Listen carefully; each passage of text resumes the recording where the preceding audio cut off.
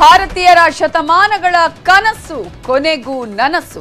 ಅಯೋಧ್ಯೆಯಲ್ಲಿ ರಾಮಲಲ್ಲಾ ಮೂರ್ತಿ ವಿರಾಜಮಾನ, ಮಧ್ಯಾಹ್ನ ಪ್ರಧಾನಿ ಮೋದಿಯಿಂದ ಪ್ರಾಣ ಪ್ರತಿಷ್ಠಾಪನೆ. ಪ್ರಧಾನಿ ಜೊತೆ ಹದಿನಾಲ್ಕು ದಂಪತಿಗಳ ಯಜಮಾನತ್ವ, ಮಧ್ಯಾಹ್ನ ಹನ್ನೆರಡು ಮೂವತ್ತರ ಶುಭ ಮುಹೂರ್ತದಲ್ಲಿ ಪ್ರಾಣ ಪ್ರತಿಷ್ಠಾಪನೆ. ನಾಳೆಯಿಂದ ಭಕ್ತರಿಗೆ ಪ್ರಭು ಶ್ರೀರಾಮನ ದರ್ಶನ. ಝಗಮಗಿಸುತ್ತಿದೆ ಶ್ರೀರಾಮನ ಊರು ದೇವಸ್ಥಾನಕ್ಕೆ ವಿಶೇಷ ಅಲಂಕಾರ ಕಂಗೊಳಿಸುತ್ತಿದೆ. ಇಡೀ ನಗರ ಅಯೋಧ್ಯೆಯ ಮೂಲೆ ಮೂಲೆಗಳಲ್ಲೂ ಖಾಕಿ ಕಟ್ಟೆಚ್ಚರ. ಅಯೋಧ್ಯೆ ಸೇರಿ ಇಡೀ ದೇಶದಲ್ಲಿ ಶ್ರೀರಾಮನ ಹಬ್ಬ. ಇಂದು ಸಂಜೆ ರಾಮದೀಪ ಬೆಳಗಿಸಲು ಪ್ರಧಾನಿ ಕರೆ. ಎಲ್ಲೆಲ್ಲೂ ಶ್ರೀರಾಮನಿಗೆ ಪೂಜೆ, ಅಭಿಷೇಕ, ಹೋಮ, ಹವನ.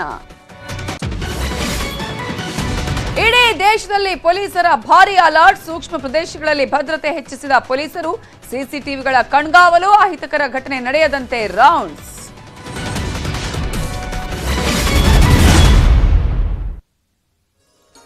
ನಮಸ್ಕಾರ ಗುಡ್ ಮಾರ್ನಿಂಗ್ ಶುಭೋದಯ. ನ್ಯೂಸ್ ಏಟಿನ್ ಕನ್ನಡದ ಈ ವಿಶೇಷ ಬುಲೆಟಿನ್ಗೆ ಸ್ವಾಗತ. ನಾನು ನವಿತಾ ಜೈನ್. ಮರ್ಯಾದ ಪುರುಷೋತ್ತಮನ ಮಹೋನ್ನತ ಮಹೋತ್ಸವ. ಶ್ರೀರಾಮನ ಪ್ರಾಣ ಪ್ರತಿಷ್ಠಾಪನೆ, ಅಯೋಧ್ಯೆಯಲ್ಲಿ ಉತ್ಸವ. ದೇಶಾದ್ಯಂತ ಶ್ರೀರಾಮ ಹಬ್ಬ, ರಾಮ ದೀಪಾವಳಿಯ ಸಂಭ್ರಮ ಶ್ರೀರಾಮೋತ್ಸವ news eighteen non stop coverage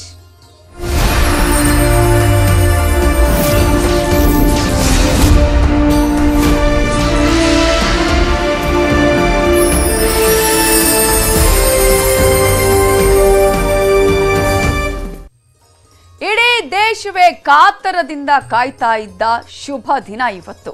ಪ್ರಭು ಶ್ರೀರಾಮನ ಪ್ರಾಣ ಪ್ರತಿಷ್ಠಾಪನೆಯ ಪುಣ್ಯ ದಿನ. ಇನ್ನು ಕೆಲವೇ ಕ್ಷಣಗಳಲ್ಲಿ ಶತಮಾನಗಳ ಕನಸು ನನಸಾಗಲಿದೆ. ಇಡೀ ದೇಶವೇ ಕಾತರದಿಂದ ಕಾಯ್ತಾ ಇದ್ದಂತಹ ಆ ಶುಭ ದಿನ ಬಂದೇ ಬಿಟ್ಟಿದೆ. ಕೇವಲ ನಾಲ್ಕು ಗಂಟೆ ಮಾತ್ರ ಬಾಕಿ ಇದೆ ಬಾಲರಾಮನ ಪ್ರಾಣ ಪ್ರತಿಷ್ಠಾಪನೆಗೆ. ಯಾಕಂದ್ರೆ ಇಲ್ಲಿ ಹೋರಾಟಗಳು ನಡೆದಿದ್ದೆಷ್ಟೋ ಇಲ್ಲಿ ತ್ಯಾಗಗಳು, ಬಲಿದಾನಗಳು ಆಗಿದ್ದೆಷ್ಟು. ಆದರೆ ಇವೆಲ್ಲದಕ್ಕೂ ಕೂಡ ಇವತ್ತು ಒಂದು ಮುಹೂರ್ತ ಇಟ್ಟ ಹಾಗೆ ಬಾಲರಾಮನ ಮೂರ್ತಿಗೆ ಪ್ರಾಣ ಪ್ರತಿಷ್ಠಾಪನೆ ಆಗುತ್ತೆ. ಅಯೋಧ್ಯೆಯ ಮಂದಿರದಲ್ಲಿ ಶ್ರೀರಾಮನ ಪ್ರಾಣ ಪ್ರತಿಷ್ಠಾಪನೆ ನೆರವೇರುತ್ತೆ. ಮಧ್ಯಾಹ್ನ ಹನ್ನೆರಡು ಮೂವತ್ತರ ಶುಭ ಅಭಿಜಿನ್ ಲಗ್ನದಲ್ಲಿ ಈ ಒಂದು ಮುಹೂರ್ತದಲ್ಲಿ ಪ್ರಾಣ ಪ್ರತಿಷ್ಠಾಪನೆ ನೆರವೇರಲಿದೆ. ಇದನ್ನು ನೆರವೇರಿಸುತ್ತಾರೆ ಪ್ರಧಾನಿ ನರೇಂದ್ರ ಮೋದಿಯವರು ಯಜಮಾನತ್ವವನ್ನ ವಹಿಸಿಕೊಂಡಿದ್ದಾರೆ ಪ್ರಧಾನಿ ನರೇಂದ್ರ ಮೋದಿ. ಈಗಾಗಲೇ ಅಯೋಧ್ಯೆಯಲ್ಲಿರುವ ಪ್ರಧಾನಿ ನರೇಂದ್ರ ಮೋದಿಯವರು ಸರಯು ನದಿಯಲ್ಲಿ ಮಂಗಳ ಸ್ನಾನ ಮಾಡಿ ದೇಗುಲಕ್ಕೆ ಪ್ರಾಣ ಪ್ರತಿಷ್ಠೆ